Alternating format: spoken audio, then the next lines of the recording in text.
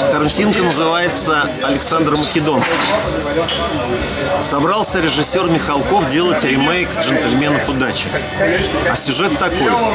Рецидивист-доцент умыкнул из Эрмитажа золотую балаклаву Александра Македонского и, спасаясь от погони, утопил ее в озере Селигер. Но ее выловили участники форума Селигер. Закатычные друзья-нашисты Хмырь, Косой и Василий Алибабаевич. Роли Михалков распределял так.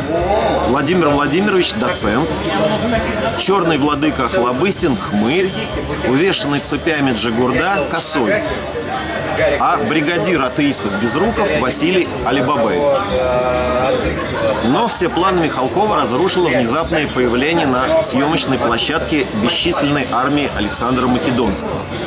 Александр Великий заявил о своем праве на золотую балаклаву и отказался покидать площадку до тех пор, пока ему ее не вернут. А когда ему вернули ее, стал требовать с Михалкова, что тот снял о нем многосерийный байопик.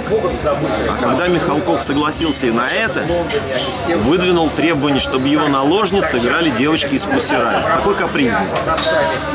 А что Владимир Владимирович, спросите вы?